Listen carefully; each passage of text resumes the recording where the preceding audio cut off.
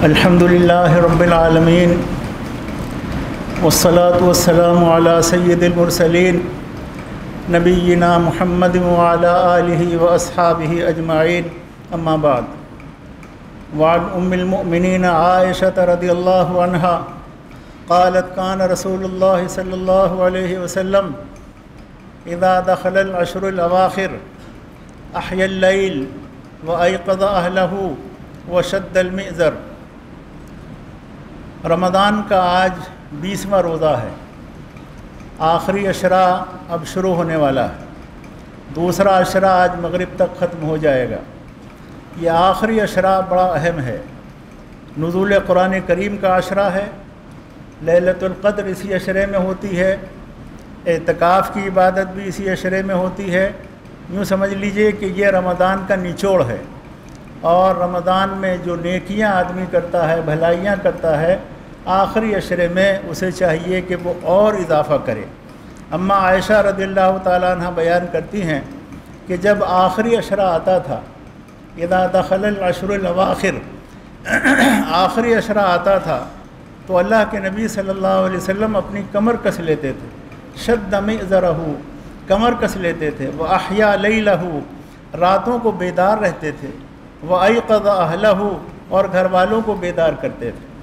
یعنی پورا عشرہ اخیر کا نبی کریم صلی اللہ علیہ وسلم کا معمول یہ رہتا تھا کہ آپ تمام دسوں رات بیدار رہ کر گزارتے تھے۔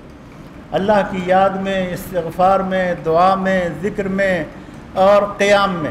اور قیام کے بارے میں جو فضیلت ہے، وہ یہ ہے کہ من قام لیلت القدری ایمانم و احتساباً غفر له ما تقدم من ذنبی جو شخص للت القدر میں ایمان و اخلاص کے ساتھ قیام کرے گا، نوافل پڑھے گا، اللہ تعالیٰ اس کے گزشتہ گناہوں کو معاف فرما دے گا۔ اور رسول اللہ صلی اللہ علیہ وسلم کا یہ معمول بھی تھا کہ کانا رسول اللہ صلی اللہ علیہ وسلم یا تقف العشر الاواخر من رمضان۔ عن عبداللہ ابن عمر متفق علیہ۔ عبداللہ ابن عمر بیان کرتے ہیں کہ نبی کریم صلی اللہ علیہ وسلم رمضان کے آخری عشرے میں اعتکاف فرمایا کرتے تھے۔ تو یہ عشرہ جو اب داخل، جس میں ہم داخل ہونے والے ہیں، بہت عظیم عشرہ ہے۔ اس لیے میرے بھائیوں اب تک جو کوتاہیاں ہوئی ہیں، جو غفلت ہو گئی ہے، وہ نہیں ہونی چاہیے۔ اللہ تعالیٰ سے مانگیے، روئیے، گڑ گڑائیے اور اپنے آپ کو پاک اور صاف کر لیجیے یہ توبہ، استغفار کا بہترین موقع ہے۔ اللہ تعالیٰ کی طرف سے اعلان عام ہے کہ مانگو، کون ہے مانگنے والا، کون ہے مجھ سے طلب کرنے والا؟ تو اللہ کی طرف سے اعلان ہوتا ہے، آواز دی جاتی ہے۔ اس لیے میرے بھائیوں، ہمیں چاہیے کہ ہم اللہ تعالیٰ کی طرف دوڑیں۔ وسارعوا الى مغفرت من ربکم دوڑو۔ اللہ کے لیے، اللہ کی طرف مغفرت طلب کرنے کے لیے، معافی مانگنے کے لیے۔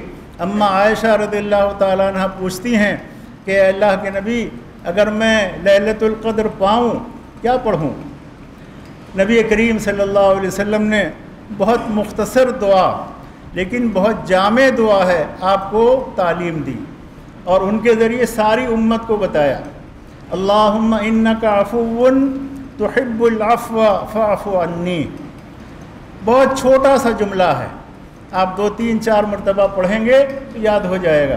اللہم انکا عفون تحب العفو فاعف عنی۔ اے اللہ تو معاف فرمانے والا ہے۔ معافی کو پسند کرتا ہے۔ بس مجھے معاف فرما دے۔ کتنا، کتنی جامع دعا ہے اور یہ اس کا مفہوم ہے، ترجمہ ہے۔ کہ اللہ تو معاف فرمانے والا ہے ان کا افون تو حب اور معاف کرنے کو پسند کرتا ہے۔ فاف عنی، بس مجھے معاف کر دے۔ تو اس لیے میرے بھائیوں آخری اشرے میں ہم مستعد ہوں، کمر کسیں، اپنے کاموں سے فارغ ہوں، اور اللہ تعالیٰ کی یاد میں زیادہ سے زیادہ وقت کو گزاریں۔ قرآن مجید کی تلاوت، قرآن مجید کا فہم اور قرآن مجید سے اپنے رشتے کو مضبوط کریں اور یہ سلسلہ رمضان کے بعد بھی رہنا چاہیے۔ تو نزول قرآن کا عشرہ ہے اور للت القدر کا عشرہ ہے۔ پانچ طاق راتوں میں سے کوئی ایک رات للت القدر ہوتی ہے۔ پانچوں میں آپ بیدار رہیں تو انشاءاللہ شب قدر حاصل ہو جائے گی۔ لیکن ہمارے بھائیوں کا حال کیا ہے؟ آدھی رات گزار دی ہوٹلوں میں گھوم رہے ہیں صاحب، آج کہاں بھائی دوستوں کے ساتھ فلاں ہوٹل میں آج کھانا ہے؟ اور دوسری رات میں کہاں جانا ہے؟ فلاں جگہ جانا ہے۔ پانچوں راتوں کے پروگرام طے ہو جاتے ہیں۔ ایمانداری سے سوچی یہ بات ہے کہ نہیں۔ پانچوں راتوں کے پروگرام طے ہو جاتے ہیں کہ بھائی فلاں رات میں وہاں اور فلاں میں وہاں، فلاں میں وہاں۔ یعنی آدھی رات تو گزار دی ہوٹلوں میں نہاریاں اور قورمے کھانے میں۔ اور اس کے بعد پھر تھوڑی رات بچی تو اس میں آ کر بہت بد دلی کے ساتھ اونگ رہے ہیں، بیٹھے ہیں۔ کچھ پڑھ رہے ہیں، کچھ نہیں پڑھ رہے ہیں، کوئی دعا مانگ رہا ہے، نہیں مانگ رہا۔ ہے یہ کیفیت ہمارے یہاں مساجد میں عام طور پر دیکھنے کو ملتی ہے۔ کیا ہے یہ؟ میرے بھائیوں، یہ عبادات، یہ رسمیں نہیں ہیں۔ ان کو حقیقت میں ادا کرنا چاہیے۔ اور ان کی روح کو تک پہنچنے کی کوشش کرنی چاہیے۔ ہماری عبادتیں بے جان ہو گئی ہیں، روح نکل گئی ہے، بے روح ہو گئی عبادتیں۔ اسی لیے ان کے اثرات ہماری زندگیوں پر مرتب نہیں ہو رہے ہیں۔ ہماری اصلاح نہیں ہو رہی ہے۔ ہم سدھرنے کے لیے تیار نہیں ہیں۔ جو جس لائن پر چل رہا ہے، جو جس کی سوچ بنی ہوئی ہے، اس سے تل بھر ہٹنے کے لیے تیار نہیں ہے۔ تو میرے بھائیوں، ہمیں اللہ سے ڈرنا چاہیے۔ اللہ کی خشیت اپنے دل میں پیدا کرنی چاہیے۔ ہم سب کو اللہ کے سامنے جانا ہے، اپنے اعمال کا حساب و کتاب دینا ہے۔ تو ڈریں اللہ کے سامنے کھڑے ہونے سے۔ یہ ہونا ہے۔ ان نہادہ لہو حق یقین یہ یقیناً ہو کر رہے گا۔ اور پھر ہو کر رہے گا، کوئی نہیں بچا پائے گا۔ تو اس لیے میرے بھائیوں آج یہ یاری دوستی اور یہ محفلیں، یہ کام نہیں آئیں گے یوم لا یغنی مولن ام مولن شیم ولاحم سرون اللہ مر رحم اللہ اللہ نے فرمایا کہ کوئی دوست کسی دوست کے کام نہیں آئے گا قیامت کے دن کوئی دوست کسی دوست کی مدد نہیں کرے گا قیامت کے دن اللہ کے رحم و کرم کے علاوہ کوئی چیز کام نہیں آئے گی تو اس لیے میرے بھائیوں اپنے وقت کو برباد نہ کریں بڑا سنہری موقع مل رہا ہے اللہ نے ہمیں زندگی دی ہے یہ زندگی نعمت ہے اس نعمت کی قدر کریں اور رمضان کی ان ساعتوں کو جو اب تھوڑی رہ گئی ہیں، مہینہ زیادہ نکل گیا ہے۔ آخری اشرے کی ساعتوں کو ہم برباد نہ کریں، بلکہ ان کا صحیح استعمال کریں۔ اللہ ہم سب کو توفیق عطا فرمائے۔ اللہم صلی علی محمد وعلی آل محمد کما صلی تعلیٰ ابراہیم وعلی آل ابراہیم انکا حمید مجید۔